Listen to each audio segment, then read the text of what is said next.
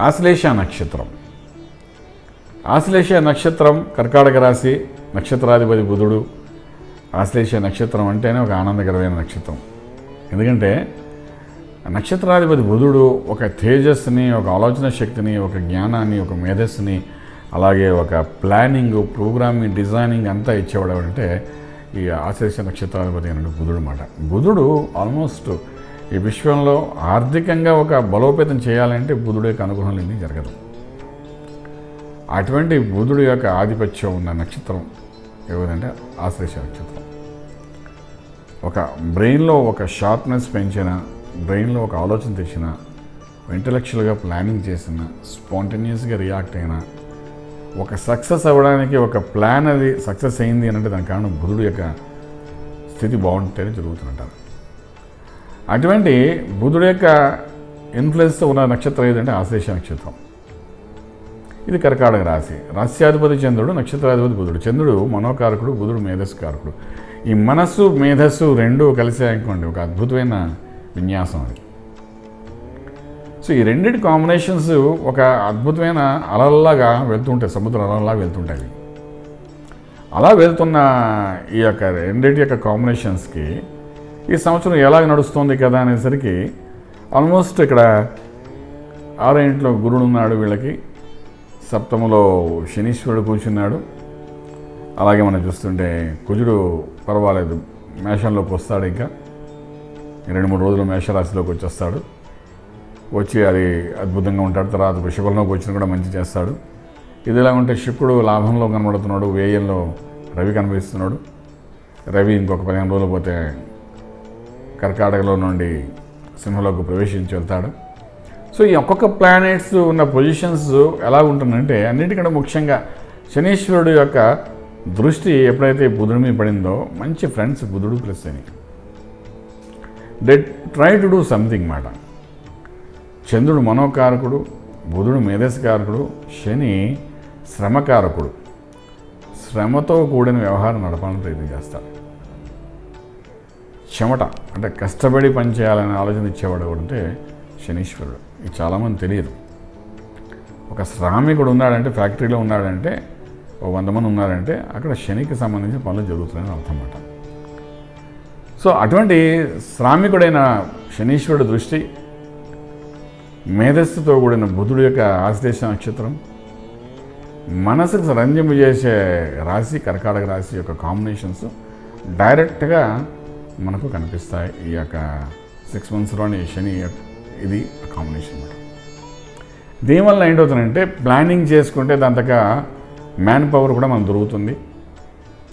Design చేసుకుంటే దాని తగ్గ ఆలోచన తగ్గట్టుగా ఇంప్లిమెంటేషన్ చేయడానికి కావాల్సిన ఆర్థిక బలం పెరుగుతుంది.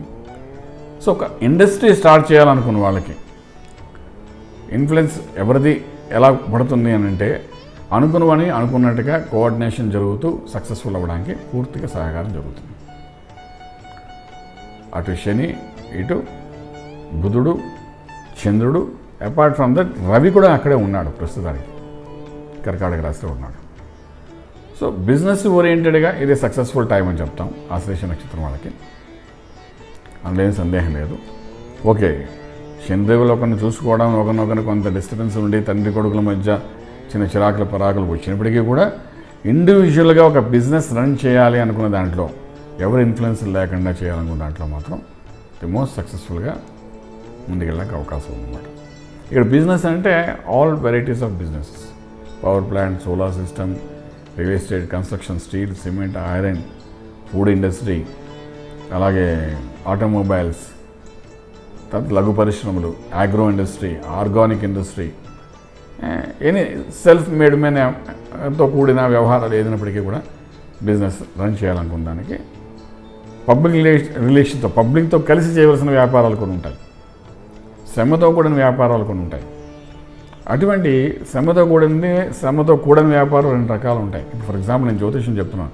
ఇదేంటంటే శ్రామికులు ఎవరు ఇక్కడ ఉండరు. నేను చెప్తుంటాను నా మేధస్సు ఇక్కడ బుధుడు వాడతాను. మనసు సంబంధించిన చంద్రుని వాడుకుంటాను. వాక్ సంబంధించిన బుధుడు వాడుకుంటాను నేను నేను కష్టపడుతుంటాను. సో ఇక్కడ చంద్రుడు బుధుడు కాంబినేషన్స్ రన్ అవుతుంటాయి ఇక్కడ. శ్రమ అంటే శ్రామిక శ్రమ అనేది ఇక్కడ కనిపించదు.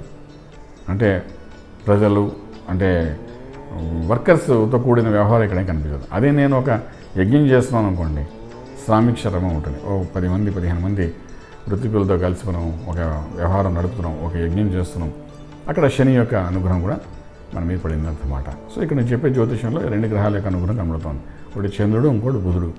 గురుడు జ్ఞానం మూడు. ఆ- కాంబినేషన్స్ టోటలీ డిఫరెంట్ సో అలాగేంటంటే ఈ ఆశ్లేష నక్షత్రానికి శని దృష్టి కూడా పడింది కాబట్టి శ్రామికంతో కూడిన వ్యాపార వ్యవహారం ఏదైతే ఉందో అందులో మోస్ట్ సక్సెస్ఫుల్గా వెళ్తారు. ఒక ఇండస్ట్రీ ఒక ఫార్మా ఇండస్ట్రీ ఒక మెడికల్ ఇండస్ట్రీ ఒక ఆర్గానిక్ ఇండస్ట్రీ లేదా ఒక we can say agriculture industry ఏదైనా ఒక ఇండస్ట్రీ ఫామ్లో డెవలప్ చేయాలనుకున్న వాళ్ళకి it's right time for them to investment planning designing programming successful థీమ్లో ముందుకెళ్ళిపోవడానికి ఆశ్లేష నక్షత్రం వాళ్ళకి ఒక అద్భుతమైన సమయం అని చెప్పచ్చు. అలాగే విదేశాలకి చదువుకోవడానికి వెళ్ళాలనుకున్న వాళ్ళకు higher education not only PG అని కాకుండా నాట్ ఓన్లీ ఎంఎస్ అని కాకుండా ఎన్నో మెడికల్ బయోకెమికల్స్ సంబంధించిన కానీ అగ్రికల్చర్ సంబంధించి ఎన్నో హైయర్ ఎడ్యుకేషన్స్ నేను అబ్రాడ్లో చాలా బోల్డ్ ఉన్నాయి అలా ఎలా అనుకున్న వాళ్ళందరూ కూడా ఇది రైట్ టైం ఆశ్రయిస్ నక్షత్రం వాళ్ళకి అప్లై చేస్తే సక్సెస్ఫుల్ అవుతుంది. గ్రీనరీ సంబంధించిన ఏం చేయాలన్నా ఆశ్లేష నక్షత్రం వాళ్ళకి ఇప్పుడు ఒక అద్భుతమైన కోఆర్డినేషన్ అనేది జరుగుతుంది సక్సెస్ అనేది బాగా కనబడుతుంది అని చెప్పడానికి అవకాశం ఉంది. అయితే ఈ నక్షత్రానికి ఉన్న విశేషం ఏంటంటే ప్లానింగ్ అది అద్భుతంగా ఉంటుంది. ఇంప్లిమెంటేషన్కి ఇక్కడ శనీశ్వరుడు యొక్క అనుగ్రహం ఉంటుంది. అండ్ మనసును రంజింపజేసేటట్టుగా సక్సెస్ఫుల్ అవ్వడానికి మనసు కూడా చాలా అద్భుతంగా పనిచేస్తుంది. So the most successful personalities ఈ సంవత్సరంలో బాగా వెళ్ళేవారు అంటే ఆశ్లేష నక్షత్రం వాళ్ళు. డెఫినెట్గా మీరు వచ్చిన అడుగు వేయండి. తర్వాత గురువు అనుగ్రహాన్ని కూడా పొందడానికి ప్రయత్నించండి గురు మంత్ర సాధన కూడా చేసుకుంటూ. వెళ్ళినప్పుడు ఏంటవుతుందంటే డెఫినెట్గా ఈ రవి అనుగ్రహం ఆల్రెడీ ఉంది కాబట్టి పన్నెండు ఉన్న రాహు లెవెన్త్ హౌస్లోకి వస్తాడు. ఇంకా మాయాధనం కూడా ఇవ్వడానికి ప్రయత్నం చేస్తాడు. సెప్టెంబర్ పదిహేను నుండి వస్తాడు కాబట్టి. సో మ్యాక్సిమం ఒక వన్ మంత్లో వాడు అక్కడికి వస్తాడు కాబట్టి రాహు వలన లాభమే కేతు వలన కూడా లాభమే జరుగుతుంది ఆశ్లేష నక్షత్రం వాళ్ళకి. సో ప్లాన్ ఇప్పుడు చేయండి. నెక్స్ట్ మంత్ ఈ సెప్టెంబర్లో సక్సెస్ అనేది ఇంకా బాగా పెరిగే అవకాశం ఉంటుంది. అండ్ రాహు అక్కడ వన్ అండ్ హాఫ్ ఇయర్ ఉంటాడు కాబట్టి whatever you touch touch would a success అనేది ఉంటుంది. నేను వ్యాపారంతో కూడిన ఆలోచనతో ఏదైనా చేసినా కూడా నువ్వు సక్సెస్ఫుల్ ఉంటుంది భయపడక్కలేదు అలాగే వివాహానికి సంబంధించిన వ్యవహారాలు గృహప్రవేశాలకు సంబంధించిన వ్యవహారాలు ఇవన్నీ కూడా నవంబర్ నుండి స్టార్ట్ చేసుకుంటే ఒక ఏడాది కాలంలో మీరు అనుకున్నవన్నీ ఇంకా ముందుకెళ్ళడానికి అవకా- ఏ ఇబ్బంది లేకుండా ముందుకెళ్ళడానికి అవకాశం ఉంది కాబట్టి అవన్నీ చేసుకుంటూ వెళ్ళచ్చు. కర్కాటక రాశి వారికి మంచి ఫలితాలు ఉన్నాయని చెప్పగలుగుతాం. రాజమార్గంలో రాజ్యం పొందగలుగుతారు. శుభం బియాతు పూర్తి వివరాలకు సంప్రదించండి. శ్రీ వేదమాత గాయత్రి జ్యోతిష్యాలయం. Brahma Srimantha Suryanarayana Sharma. Srinilayam first floor one nought one.